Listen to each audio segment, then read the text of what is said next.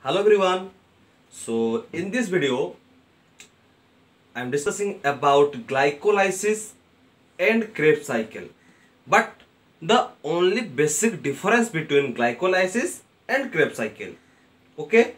So if you go through this uh, glycolysis and Krebs cycle, you will easily understand the basic difference between glycolysis and Krebs cycle. If you don't go through glycolysis and Krebs cycle, uh, see my previous video. I am upload about glycolysis and Krebs cycle. But here I am just only discussing about the basic difference between glycolysis and Krebs cycle.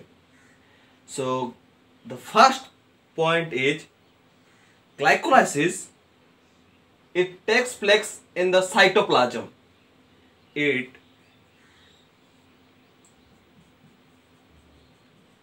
takes place in the cytoplasm.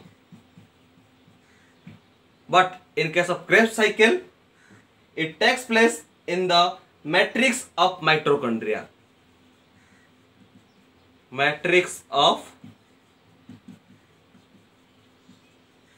mitochondria.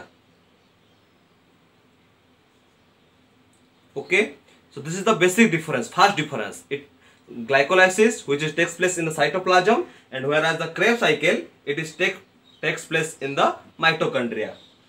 And glycolysis is a linear pathway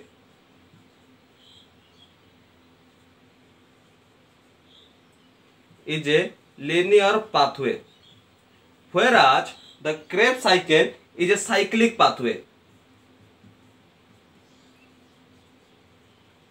okay so uh, you can see glycolysis is a linear pathway okay but in case of Krebs cycle it is a cyclic pathway like this cycle like okay and then the third point between glycolysis and Krebs cycle is glycolysis it occurs in aerobic as well as in anaer anaerobic respiration so in both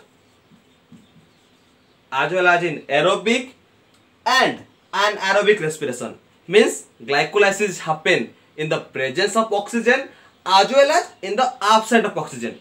But in case of Krebs cycle it occurs only in aerobic respiration.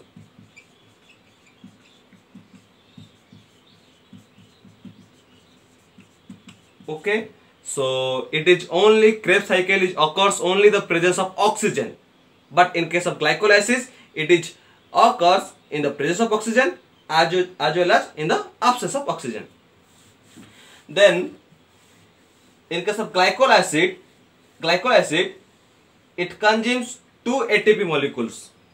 Two ATP molecules adenosine triphosphate molecule. It consumes two adenosine triphosphate molecule. But in case in case of Krebs cycle it does not consumes any kind of ATP okay?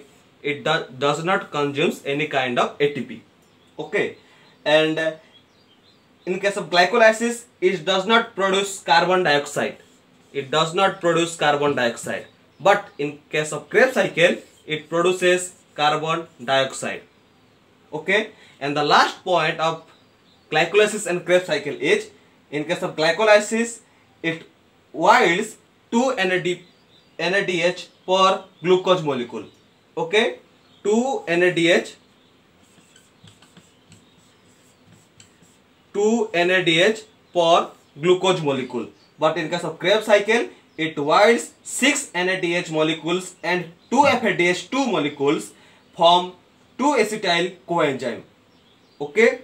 So basically this is the basic difference between glycolysis and Krebs cycle. Thank you